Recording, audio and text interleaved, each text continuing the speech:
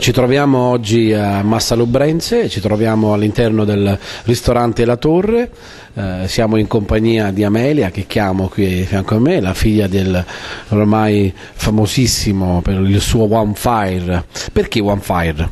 Eh, One Fire è un detto di mio padre. In pratica, mh, all'inizio che stavamo qui alla torre, il, mh, c'era questo piccolo terrazzino c'era, eh, c'era solo il terrazzino. Chiedemmo l'affitto del, mh, al comune del suolo pubblico e il primo sabato eravamo pienissimi di gente c'era questo tavolo di, di americani.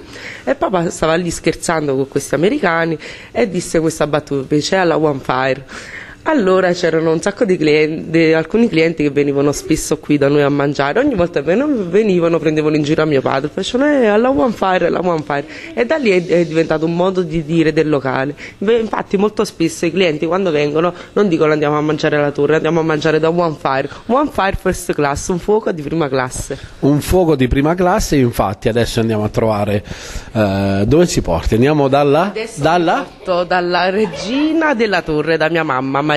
E oggi siamo qui in vostra compagnia e vogliamo eh, agli amici a casa una ricetta nuova, una ricetta diversa, una ricetta a base di pesce oggi vedo. Base di pesce, eh, una ricetta semplice che possono fare benissimo a casa. Allora facciamo i paccheri di Gragnano con il ragù di ricciola. Allora prendiamo la ricciola, un trancio di ricciola bello fresco, lo tagliamo a dadini, poi mettiamo l'olio in padella con l'aglio e il peperoncino, mettiamo non il prezzemolo tagliato così, i gambi di prezzemolo e un poco di pomodorini, sfumiamo con il vino e poi quando, dopo quando è cotta la pasta ce lo mettiamo dentro. Lo, lo finiamo di cuocere al dente, perché la pasta deve avere l'anima bianca. Ho visto una cosa particolare che difficilmente io vedo nelle altre cucine, quello di aggiungere i gambi di prezzemolo, perché? Perché sono più saporiti, il buono sta nel, nel, nei gambi, non nelle foglie.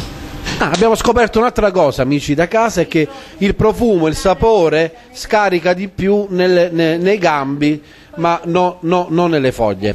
Poi dopo abbiamo aggiunto eh, il, prima il, la ricciola, Ciola e poi il pomodorino fresco.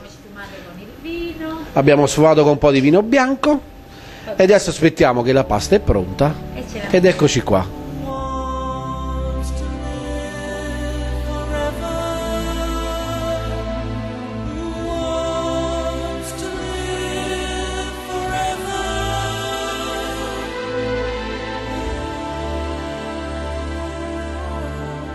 Eccoci qua, io vado a assaggiarli questi